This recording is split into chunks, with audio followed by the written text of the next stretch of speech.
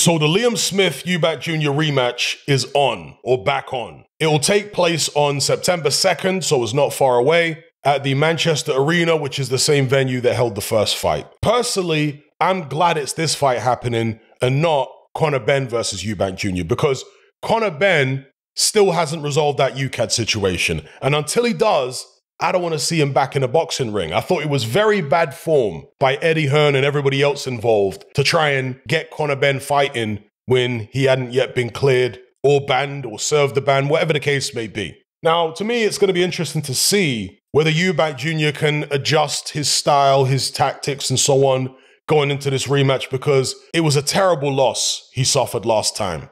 He did have some success, most notably in that third round when he started controlling things in the middle of the ring, getting his uppercut going, which is his best punch. But in that fourth round, he got trapped on the ropes. Liam Smith was very accurate with his shots. I know there's all this talk of an elbow, but yeah, I didn't see any elbow. I saw a punch, which when looking from the back of Liam Smith, you know, looking at his back with Eubank Jr. in front of him, it can be made to look like an elbow maybe landed, but from that angle, you can't tell. Because of the way perspective works, it doesn't give you definitive proof from that angle. You see? So, anyway, stylistically, Eubank Jr. has always been fighting off the ropes in that way. That's not something that Roy Jones has introduced to his game. Go back and look when Eubank Jr. fought Nick Blackwell way back in the days, long before he was with Roy Jones. He was on the ropes doing those exact same moves. And they worked against Nick Blackwell. Same way when he fought Avni Yildirim. He was on the ropes doing those same moves. It worked against Avni Yildirim. It didn't work against Liam Smith because he's more accurate and more skillful than those two fighters. And that's one of the things I said going into the first fight is that Liam Smith will be the most skilled pressure fighter that Eubank Jr. has fought in his career. Because Eubank Jr. likes pressure fighters, but he's never fought a pressure fighter this skilled.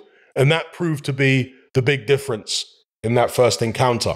So We'll see if Eubank Jr. can adjust. He's going to need to stay in the middle of the ring, off the ropes. I think that goes without saying. As far as whether he boxes Liam Smith long range or gets involved in a scrap, I think he's going to need to mix it up. So occasionally box at long range. In fact, I think primarily he needs to box at long range, but keep it in the middle of the ring. And then here and there, open up in the middle of the ring with combinations, just like he did in that third round. That third round really should be the model for what Eubank Jr. does in this rematch. And it's going to be a difficult thing to keep up over the uh, 12 round duration because at some stage you would imagine Liam Smith will back Eubank Jr. to the ropes. When that happens, Eubank Jr. needs to hold, just like he did again in the Nick Blackwell fight in spots. There were times against Nick Blackwell where I guess he didn't feel like he was in the right position. He didn't have the right angle on Nick Blackwell to get his shots off and avoid being hit. So he just came in low and grabbed Nick Blackwell rather than exchanging. And obviously, in boxing, you are allowed to clinch to a certain extent. Excessive clinching is not allowed. So he's going to need to watch it if that's his tactic, because we don't want to see a Lawrence Okolie type situation. But anyway, I think it's intriguing to see if Eubank Jr. can actually adjust. And as for Liam Smith, well, he just needs to do the same as he did last time. Can he really do much different than last time. I mean, maybe when he's in the middle of the ring, he can be a bit more active and not allow Eubank Jr. to get so many shots off on him because he did do that in that third round of the first fight. Eubank Jr. was having his way, getting uppercuts off, and Liam Smith was kind of passive. He needs to maybe address that. But other than that, he's going to do the same as the first fight because if it ain't broke, don't fix it. It worked first time. He's got to figure it's going to work the second time and it's up to Eubank Jr. to try and figure something else out. So I'll leave it there. That's the rematch. Let me know what you guys think about it in the comment section below. Just briefly to look at the rankings to see where both guys are. Interestingly, Liam Smith is only ranked in the top 15 by the WBO, and Eubank Jr. is only ranked in the top 15 by the WBC. Neither one of them is ranked in any other rankings as far as I can see. As you can see here, Eubank Jr. number four with the WBC, and no other sanctioning body has him ranked anywhere. And the same with Liam Smith.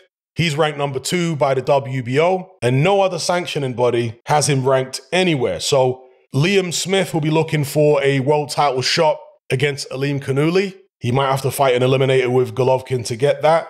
And Eubank Jr., if he wins this, he's got people like Sulecki above him, Golovkin, uh, this guy whose name I won't try and pronounce. uh, if he wants to get a mandatory shot at Charlo, well, good luck with that. Maybe he'll get a mandatory shot against Adames, who is interim champion. In fact, I'm going to make a separate video about Charlo because this Charlo situation is beyond ridiculous. Man's been out the ring two years. He's not getting stripped to the belt. It is totally absurd. I saw an interview, shout out to G Man, because he posted it in the Element group. I saw an interview with Mauricio Sulaimán, and Mauricio Sulaimán and the WBC basically make the rules up as they go along. Again, I'll cover that off in a separate video. So for now, let me know what you guys think about the Liam Smith Eubank Jr. rematch. How does this go? Is it repeat or revenge?